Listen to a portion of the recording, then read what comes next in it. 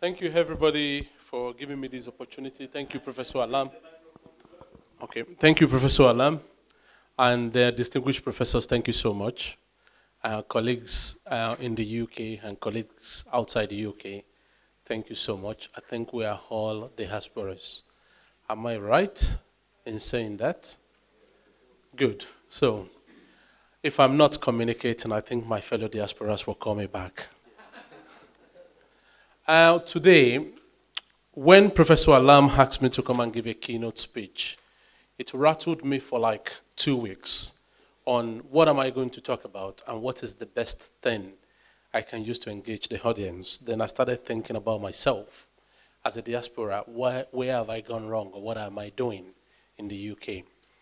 I decided to take a different perspective looking at um, what we call latest technology, particularly the idea of digital economy that a lot of the Western economics are pursuing at the moment.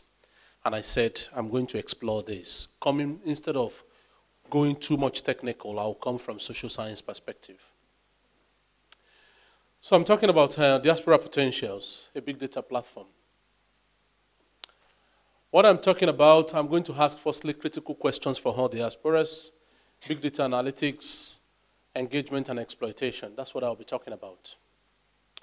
So there's no doubt diasporas has got huge potentials. If you look at all of us here, we've got huge potentials. There's no doubt about it. I'm always confident if you talk of diasporas, and in fact, I think we are supporting the Western economies too much. That's my, that's my view of it.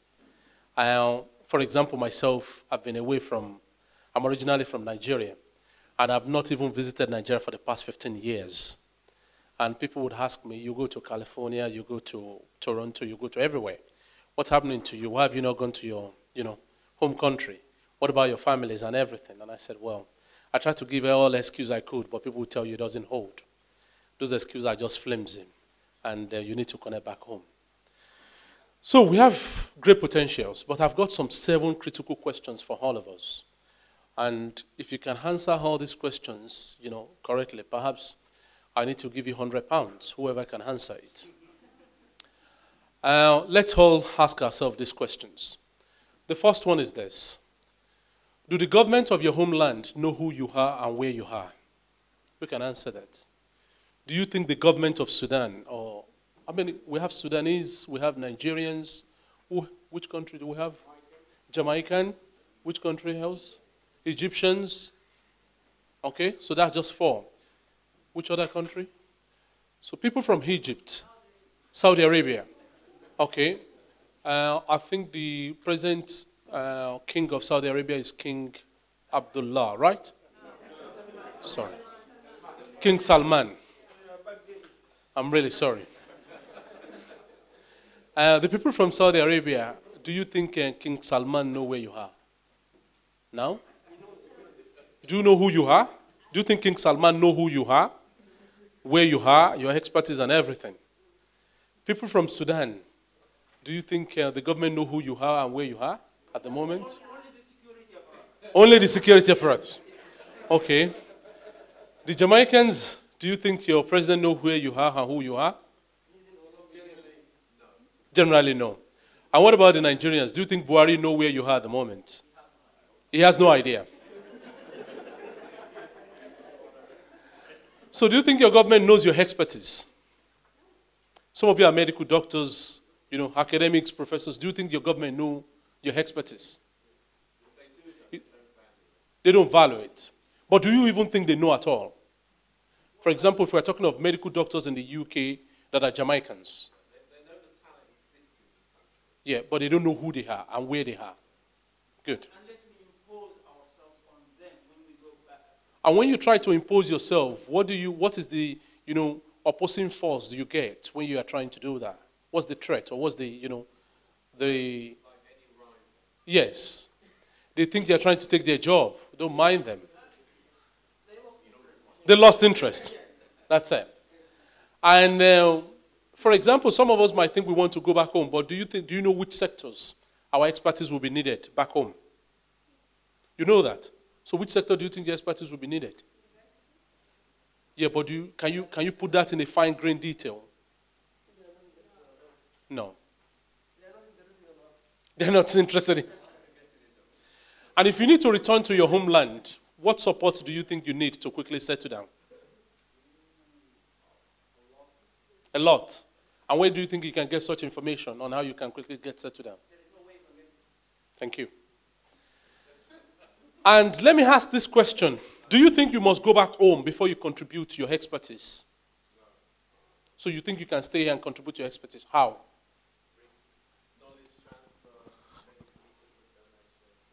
Okay. And why have you not been doing that? You do do that. And it's been well received.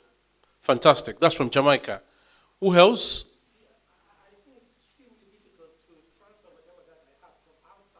Because of the internal conditions there. Okay. I mean I mean technology is not that high allow me to transfer that. Okay. Um, how can you connect other diasporas in other countries? So we have Sudanese here in the UK. How do you think you can connect Sudanese in, in the US, apart from family membership? Or Sudanese in Japan? There are Sudan in Japan. There are Sudanese in Japan. There are Sudanese in Malaysia. If not for Professor Alam bringing everybody here together, how do you think you can connect to each other? And yeah, apart from these conferences, apart from family contact, do you think you know all the Sudanese living in Singapore? Thank you. And uh, finally, do you need the government all the time to contribute, to make you contribute to your homeland? Do you think the government is all the time? So, if the government, what else do you think you need, apart from the government, to contribute to your homeland? Okay.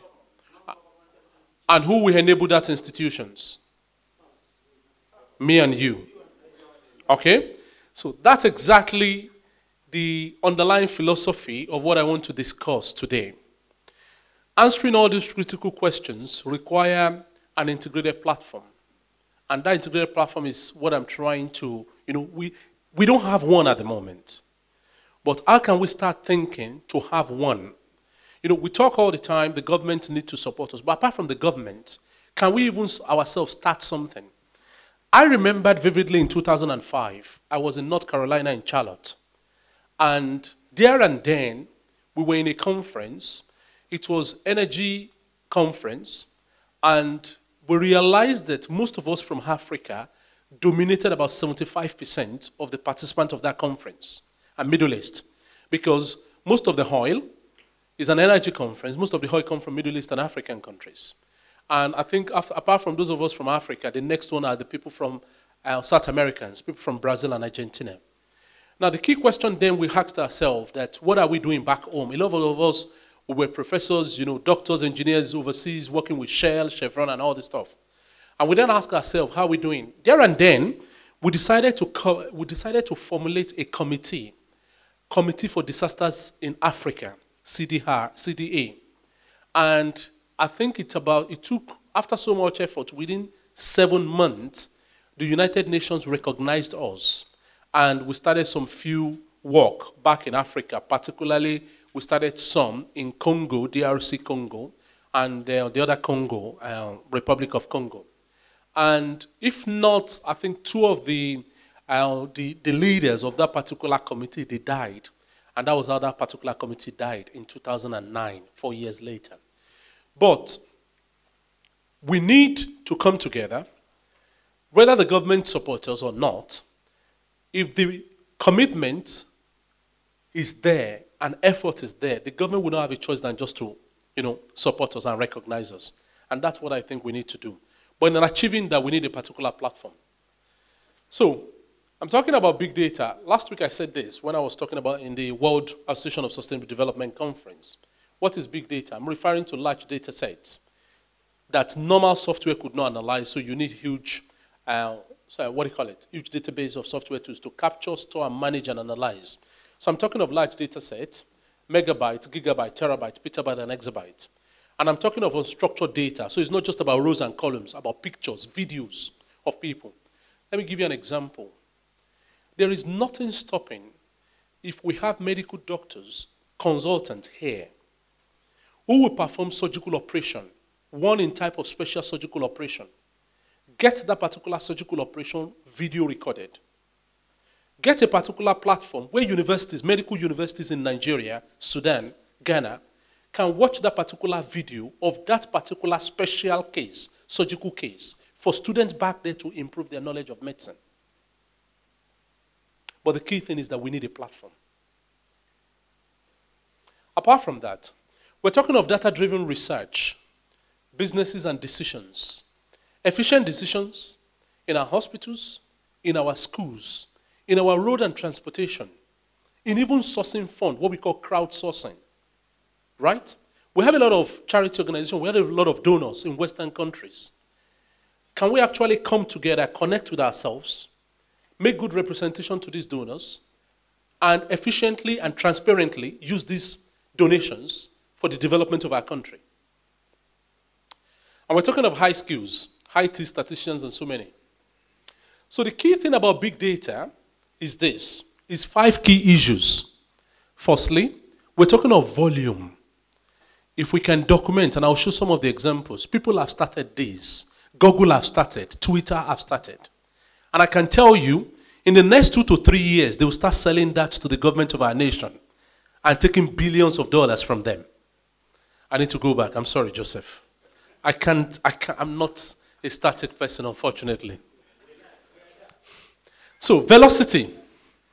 We're talking of huge data set that is volume and the velocity at which we need that to be at real time, such that if I change my job today, the government of Nigeria will know. If I change my location, before now, I was in Belfast in Northern Ireland. I was head of department there.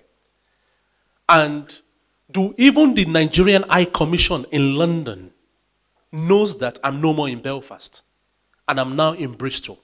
No. So we're talking of things at real time where government, private sectors back home, or even public institutions like our universities can know where I am, what I'm currently doing. Take note, there are so much risk associated with it, and I'll talk about it later on, because you're talking of things like privacy, you're talking of things like security, people exploiting those data and using it for what we call negative reasons. We'll talk about that later on. But the other key thing is about variety. Huge amount of data, location data, your name, your profession, where you are, what type of expertise you could contribute, which sectors can you work effectively for. And we're talking of veracity. How authentic the data are, who is going to verify this data, such that if a business mogul in Nigeria or a business mogul in Saudi Arabia, one of the princes in Saudi Arabia, decide that he wants to build a petrochemical plant, right, in his country, where can he get the expertise? He will go to this database. How accurate is this database? What is the veracity of the data that you have? And how can we bring all these things together to achieve value? Take note. The key thing about all this social media, it has an underlying dimension. LinkedIn, Google, Instagram, Facebook, Twitter. It's about crowdsourcing of data and bringing value, integrating everything together. The whole idea of Facebook is about connecting people together. That's the whole idea of Facebook. My data, things about me, connecting it with others. That's all. The whole idea of LinkedIn, I said it that Microsoft just bought LinkedIn for $24 billion. Why do Microsoft want to do that? Why can't Microsoft, with all their technological know how, why can't they just create a parallel structure for LinkedIn? Why did Facebook decide to buy WhatsApp for 15 billion US dollars? Why? Because it takes a while to create network of people. If you do that, what if people do not use it? What if they don't talk to each other? But we have an opportunity as diasporans. There's one common thing. You're from Sudan, you're from Saudi Arabia, you're from Nigeria. There's one major thing that we have. And what is it?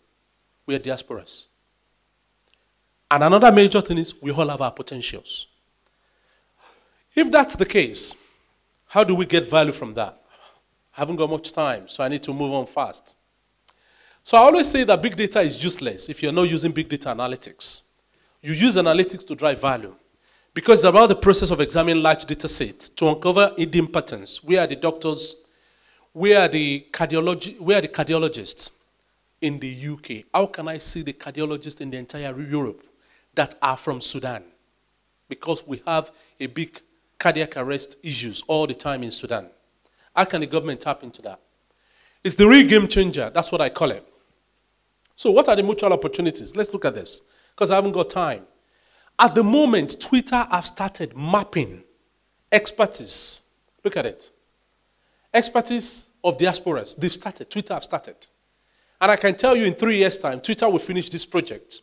And they'll start going to all the governments that are non-Western and selling this data to them. Look, if you're looking for medical doctors in UK that are Saudi Arabia, that are Saudis, we know where they are. We know their expertise. Twitter will sell this to Saudi government, and Saudi government will buy it, $2 billion. They will not even pay money at one go. What these companies do, they call it data as a service. That's what Google does. You will pay annual subscription. Because why? That's how you get inflow of money. This is the economic model of UK and US at the moment. It's based on annual subscription. It's not a one-time payment. So they've started that already. Let's move on. The key, three, the key thing is about a three-dimensional uh, ICT, where you have the worlds, where the worlds. Are you talking of medical world, construction world, whatever world you could talk about? The location where you are. What is the nature of that particular job or expertise you are offering in that world? The behavior and the activity that you are doing. It's all about the infrastructure, which Google is trying to claim they will provide. Twitter is also doing it. IBM will start their own soon. Generic services and capacity and knowledge and skills will map all that together.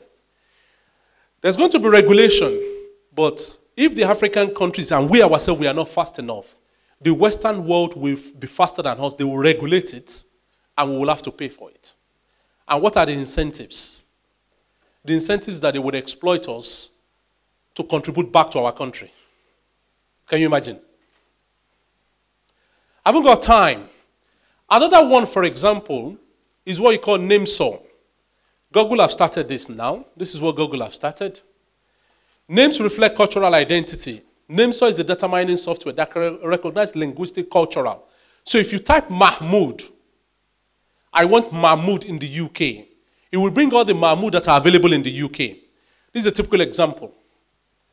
Honoma, how many Honoma do I have in the United Kingdom? My target is France, but I'm looking at all other sources that are available there. 16 of them. What is the weighting? 27 of them. And you have all this. These are just simple business intelligence that will come up in terms of you trying to get the name of people. I want David. How many David? David from Nigeria. How many of them that live in East London? And what is their expertise? This is what Google is trying to come up with at the moment. And even to the extent that they are trying to move and look at the flow of people, where people are moving into. Look at it from United Arab Emirates going into United Kingdom, going into US. All this could be mapped easily. They combine flight data with Twitter data, with LinkedIn data, and they can produce huge amount of traffic flow, flow of movement of people, who is going where and when. Let's take, for example, cancer research. I want to know, I want to map talent in cancer research. Who are the people with expertise in cancer research? Which country? US, France? This is visual analytics. Who is in cancer research? We can easily do this when we're talking of, for example, I need cancer research. Who are the experts in cancer research in the entire Africa? Where are the expertise of cancer research? Let's move on because I haven't got time. How many minutes have I got? Five minutes. I'll finish. Let's take, for example, cancer research. This is Polish and Slovenia. Europe is also doing this as well. The EU has started this. They want to know the Polish brain drain when it comes to cancer research. Where are they? Where is the major? Where are they situated? A lot of the Polish with cancer experts are situated in the United States, 38% of them, followed by Great Britain and followed by Germany.